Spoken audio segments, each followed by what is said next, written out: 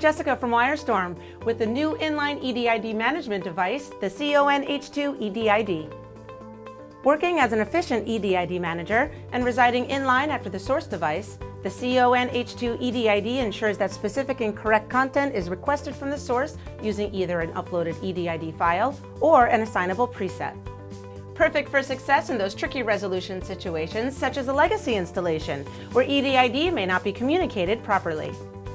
With its ability to repeat and reclock an incoming HDMI signal for a further transmission run, the CON-H2 EDID can be used simply as an HDMI cable range extender and is compatible with both copper and hybrid active optical HDMI cables. Demoing as an inline audio deembedder, this converter can be placed inline after any current source device thanks to its 18 gigs with HDCP 2.2 support, extracting the incoming HDMI source audio through the 3.5mm jack or coaxial SPDIF port. Additionally, it can be a microzone controller, sending CEC and RS-232 power triggers to connected projectors or screens, and from its two relay ports, it can trigger third-party motors, such as projector screens, blinds, and curtains using signal presence logic.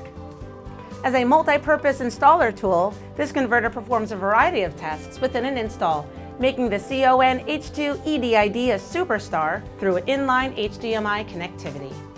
Thanks for watching. Contact WyreStorm today and find a dealer near you.